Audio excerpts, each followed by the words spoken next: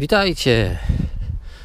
Dzisiaj taki krótki filmik o tym, co warto mieć w domu na wszelki wypadek. No i chciałem Wam opowiedzieć dzisiaj o książkach różnych absolutnie. Oczywiście w zależności od tego, co Was interesuje, co byście chcieli zachować, to takie takie książki.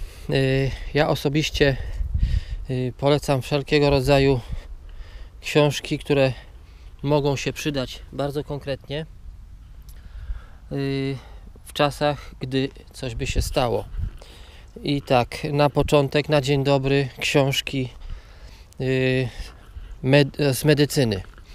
Poradniki, encyklopedie i tak dalej dla studentów, ale te stare, te do 70 roku powiedzmy, Dlaczego? Tak mi się wydaje, że do 70 roku tam w tych książkach było najwięcej takich, yy, takiej rzetelnej wiedzy, jak leczyć, jak zapobiegać, a nie jak, yy, jak słuchajcie, pozbyć się objawów choroby, tak jak to dzisiaj ma y, y, y, miejsce wszędzie właściwie. Wszystkie, wszystkie artykuły dostępne w aptekach pokazują nam, jak Y, pozbyć się objawów. Natomiast osobiście mnie to nie interesuje.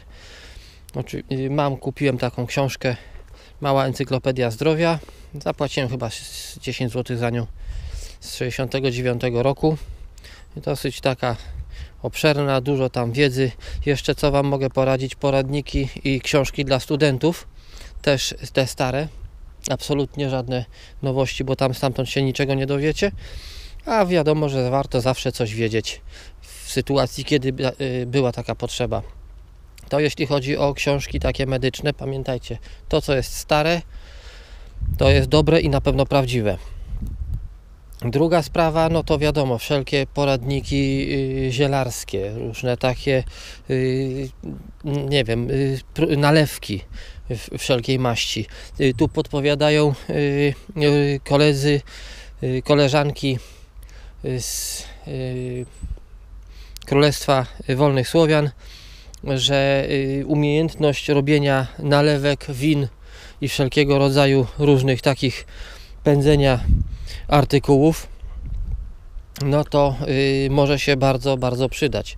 No i rzeczywiście, także takie rzeczy, tam gdzie, gdzie macie różnego rodzaju przepisy, y, zioła jadalne, słuchajcie, Łukasz Łuczaj, świetnie o tym opowiada. E, ma naprawdę bardzo dużą wiedzę. Pokazuje, co, jakie rośliny mamy e, wokół siebie jadalne i to też warto e, wziąć pod uwagę. Zresztą napisał kilka świetnych książek. Nie wiem, mam chyba dwie albo trzy z jego autorstwa, ale oczywiście jest tych pozycji trochę więcej. Także jak wrócę do Polski, to na pewno zaopatrzę się tak, żeby mieć komplet, ponieważ ta wiedza w tych zawartach, zawarta w tych książkach jest naprawdę znakomita. No i przede wszystkim, y, co mnie tutaj bardzo pozytywnie zaskakuje, no to y, słuchajcie, Łukasz y, pokazuje, co jeść oprócz, oprócz roślin i to na swoi, w swoich filmach na YouTubie. Także też można tam zobaczyć. No ja byłem mocno zaskoczony. nie wiem, czy bym się odważył, ale nie będę Wam mówił, co on tam je. Sami zobaczcie, wejdźcie na jego kanał, bo naprawdę jest świetny pod tym względem. Y, kolejna sprawa właśnie to tak, y, czyli mamy zagadnienia y, z medycyny na własne potrzeby, zagadnienia zielarskie, różne kompozycje ziół, tego też szukajcie, dowiadujcie się. Mm, co jeszcze? No jeżeli macie możliwości, słuchajcie, jakieś tam, nie wiem, mieszkacie w mieście, no to wiadomo, że te możliwości będą trochę mniejsze, ale są ludzie, którzy mieszkają w mieście i mają ogródki działkowe. Dzisiaj te ogródki stały się dosyć cenne i ciężko jest tak po prostu wejść sobie i kupić. Kiedyś tego nikt nie chciał, był taki moment, a dzisiaj to ludzie za tym y, szaleją, polują, bo oprócz tego, że to jest coś dla siebie z warzyw, z owoców takich prawdziwych, zdrowych, no to dodatkowo jest to takie jakieś miejsce zaciszne na weekend sobie usiąść czy też y, na wakacje nawet pojechać, spędzić tam y, całe dwa miesiące letnie, to też tam, też tam można. W każdym razie takie różne y, miejsca trzeba sobie też gdzieś tam postarać się wybrać. Może y, zapomnieliście o jakichś rodzinach, gdzieś macie na wsi, warto byłoby się przeprosić, uśmiechnąć, przywrócić y, stare relacje, bo one mogą się przydać. Jeżeli w tej chwili my zadbamy o kogoś, to może przyjść taki czas, że ktoś zadba o nas. Także nie możemy absolutnie tutaj y, patrzeć na to wszystko pod kątem własnego czubka nosa, ale raczej w pojedynkę, tak jak mówi Dziki Preppers, jeszcze nikt sobie nie poradził. Natomiast w grupie zawsze, zawsze jest łatwiej i takie grupy trzeba yy, budować to tak na marginesie. Natomiast y, z książek, wracając do książek, bo o tym, o tym zacząłem, mamy medycynę, mamy y, y, zioła, mamy pożywienie, rośliny jadalne i, no krótko mówiąc, robaki jadalne. Nie wiem, czy bym się przekonał do tego, ale słuchajcie, byłem gdzieś, już nie pamiętam w tej chwili gdzie, ale czytałem o czymś takim, że organizowane są kursy survivalu i tam są takie kursy też jak właśnie przetrwać, jak rozpalić ognisko, jak się, jak zdobyć wodę, w, w jaki sposób yy, uzdatnić tą wodę. Yy, taki prosty, słuchajcie, no chodzimy po lesie, te butelki zawsze plastikowe się znajdą. Dodatkowo tam gdzieś się ten piasek wykopie, słuchajcie, ognisko rozpalić, te, ten węgiel yy, drzewny po tym ognisku to jest właśnie nasze całe dobrodziejstwo, bo potrafi zabić 99% bakterii, wirusów i grzybów jakiś tam, z tego co czytałem. No i to się wszystko tam przekłada yy, odpowiednio. Nie będę Wam mówił, żeby zachęcić Was, w jaki sposób to zrobi sobie taki filtr ze znalezionej butelki w lesie i uzdatnić wodę tak, w taki sposób, żeby ona była absolutnie naprawdę zdatna do picia. Jest to możliwe i do zrobienia. To też yy, Wam polecam, żebyście się w tym kierunku zapoznali. No i oczywiście coś, co mnie jeszcze do dzisiaj przeraża, mianowicie kuchnia survivalowa.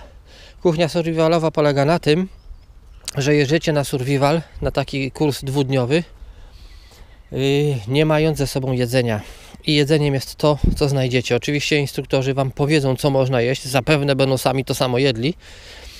I polega sprawa na tym, żeby się przekonać, do jakiego stopnia jesteśmy w stanie, w którym momencie się przełamać i poznajemy swoje granice y, tego, co możemy zrobić. Oczywiście, jeżeli ktoś pojedzie i zabierze ze sobą tam jakieś batoniki, kromkę chleba, no to, to sam siebie oszuka, to nie ma sensu.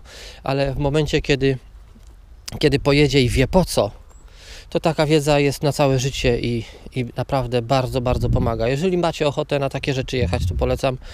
Y, pełno w Polsce jest takich kursów. Myślę, że w obecnej sytuacji to nawet one będą jeszcze bardziej y, popularne i i takie kursy y, się myślę odbywają. Nie sądzę, żeby, żeby ci ludzie y, prowadzący te kursy zaprzestali tego. Tam są grupy powiedzmy, no nie wiem, 10, 15, 20 osób czasami to wszystko, więc warto w coś takiego y, w coś takiego wejść i przeżyć przy okazji naprawdę fajną przygodę. Polecam tak samo, żeby ojcowie zabrali swoich synów, czy też małoletnich, czy kilkunastoletnich. To też świetna, świetna frajda. Ja na pewno ze swoim pojadę, niech no tylko trochę urośnie i, i na pewno taki, na, taki, na taką przygodę go zabiorę. Przy okazji się czegoś nauczy. Y, to tyle. Co jeszcze mógłbym Wam powiedzieć? Y, przede wszystkim w jaki sposób zrobić zapasy, no to tych filmów już y, jest dosyć dużo. Wszyscy o tym mówią co i jak. Y, bo te zapasy są bardzo ważne. Dziki Preppers świetnie o tym opowiada. Y, jest też jeszcze kilku właśnie innych i prepersów, i ludzi, którzy, y, którzy tak o, po prostu z zamiłowania, nie interesując się za bardzo tym, tym organizacją jako, jako prepersów, sami, sami to robią dla siebie, bo lubią, bo tak jak robili to nas, nasi przodkowie, babcie, prababcie, mamy i tak dalej, i tak to wszystko dalej jest kontynuowane. Także takie coś. Y, y, co jeszcze?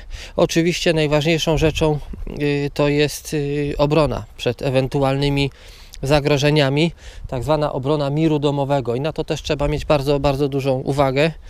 Zaopatrzyć się w coś, co mogłoby nam posłużyć do obrony. I nie będę Wam tutaj podpowiadał, bo to dosłownie może być absolutnie wszystko, co Wam tylko przyjdzie do głowy, z czym będziecie się czuli, co będziecie chcieli mieć pod ręką. Yy, powiem Wam tylko jedną rzecz taką, taką ciekawą przy wyborze noża. Jaki nóż jest najlepszy? Na przykład noża, bo możemy, możemy chcieć na, kupić sobie nóż, nie wiem, do ziemniaków albo albo do czegoś tam jeszcze, yy, to powiem Wam, i, i, ten nóż też powinien służyć na przykład do rąbania drewna i tak dalej, do rozpaniania ogniska. No zresztą tego, takich rzeczy to się dowiecie yy, z innych filmów, które bardziej są profesjonalne i, i bardziej lepiej potrafią pokazywać różne rzeczy na internecie, ale najlepszy nóż, pamiętajcie, to jest niesamowita zasada. Najlepszy nóż na świecie to jest taki, który akurat macie przy sobie. Także nie patrzcie na to. Jedną najważniejszą rzeczą to jest to, żeby to była gruba stal. Ja nie wiem, jak to się nazywa profesjonalnie, ale od początku noża aż po koniec rękojeści. Żeby to był jeden kawałek, żadne sprężyniaki i tak dalej, bo przy próbie rąbania drzewa po prostu one się złamią najnormalniej w świecie i ten nóż straci sens. Także to, żeby to był konkretny nóż i nie jakaś maczeta na 2 metry, tylko taki, żeby było go łatwo schować, żeby nie przeszkadzał przy chodzeniu, bieganiu, wspinaczce i różnych takich innych rzeczach. To musi być bardzo poręczny yy, nóż. To z mojej strony tylko taka uwaga, to bym chciał Wam powiedzieć.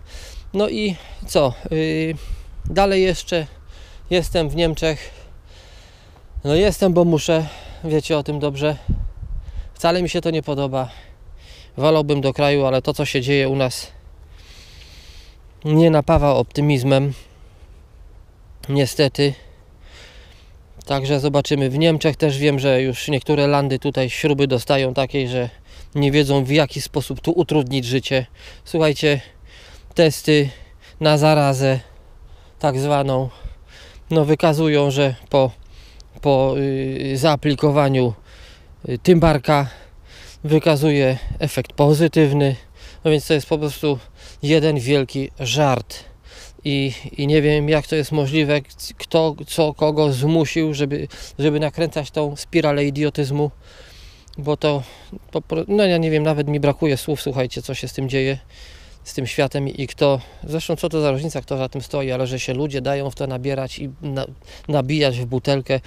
Też ktoś mi napisał komentarz, że maseczka jest taka niesamowicie ważna, wspaniała i cudowna, że że ona chroni. No słuchajcie, że chroni y, nas przed kimś albo kogoś przed nami. Ludzie kochani. Zwykła maseczka w cudzysłowie z cienkiego papieru ma chronić przed zarazą. Nie, no po prostu brak słów. No. A teraz jeszcze okazuje się, że yy, chyba na kanale yy, tak, bądź na bieżąco, tam chłopak opowiada w jakimś w którymś z ostatnich filmów, że Y, oszukano, że oszukano nas, że zaraza nie jest aż tak groźna. Słuchajcie, nie wiem, moim zdaniem grypa jest groźniejsza, no tak wam powiem, no i, i tyle, no. ale to jest moje prywatne, subiektywne zdanie, także każdy z was ma własne doświadczenia, własny rozum, żeby, żeby myśleć co i jak i tyle. Druga sprawa, wiem, że y, świetny, świetny kanał, y, wam, muszę Wam go polecić, dlatego że człowiek robi niesamowitą robotę. Marek Skoczylas, słuchajcie, oglądajcie jego kanał, bo on Wam pokaże w jaki sposób y, pomóc sobie ziołami. O, w ten sposób może. Ja nie chcę więcej mówić, żebym za dużo przypadkiem nie powiedział, ale w jaki sposób sobie pomóc i co on by zrobił, gdyby był na coś tam, nie wiem, czy uczulony, czy na coś chory. Także to w ten sposób. Świetnie to prowadzi z y, bardzo mocnymi y, y, podpórkami badań naukowych, także naprawdę zdecydowanie polecam. To tyle z mojej strony na dzisiaj, żeby wam, z Wami się podzielić, gdzie szukać wiedzy, gdzie się zaopatrzyć i w co się zaopatrzyć. Także to pamiętajcie, warto takie kanały śledzić, a ze swojej strony jeszcze mm, ponieważ tych widzów, co mnie bardzo, bardzo cieszy, przybywa z dnia na dzień to chciałbym jeszcze raz y, powitać wszystkich nowych y, widzów na moim kanale i oprócz tego, co słyszeliście dzisiaj w tym filmie, to chcę Wam powiedzieć, że y, zajmuję się zbudowaniem rolnictwa ekologicznego, czystego absolutnie, ponieważ ziemia, na której to wszystko będę robił, jest wolna od wszelkich środków chemicznych od ponad 30 lat, więc jest to, można powiedzieć, dziewicza ziemia i tam nic nie będzie nigdy zastosowane, żadnego dziadostwa, tylko i wyłącznie naturalne rzeczy. To oprócz tego y, jestem y, pasjonatem zabytkowych traktorów i na, moich, na moim kanale możecie kilka takich traktorów zobaczyć. No i jeżeli czas pozwoli, no to oczywiście zabieram się za, za remonty. Powoli nabieram odwagi, ponieważ nie jestem mechanikiem, a y, uczę się tego. Wy mi podpowiadacie, moi wspaniali widzowie, jak co naprawić, gdzie zajrzeć, co dokręcić, co odkręcić i tak dalej, co mnie bardzo cieszy. No i wspólnymi siłami w ten sposób myślę, że wkrótce odpalę pierwszego Zetora 25 i to będzie Zetor 25 no z którego roku właśnie? No zobaczymy z którego roku. Jeżeli obejrzycie moje, moje filmy na temat Zetorów 25, no to spróbujcie zgadnąć z którego roku jest ten Zetor. Na pewno jest to bardzo, bardzo ciekawy i niezwykły model. To tyle z dzisiejszego filmu. Pozdrawiam Was wszystkich, wszystkich serdecznie i do zobaczenia w kolejnym filmie. Cześć!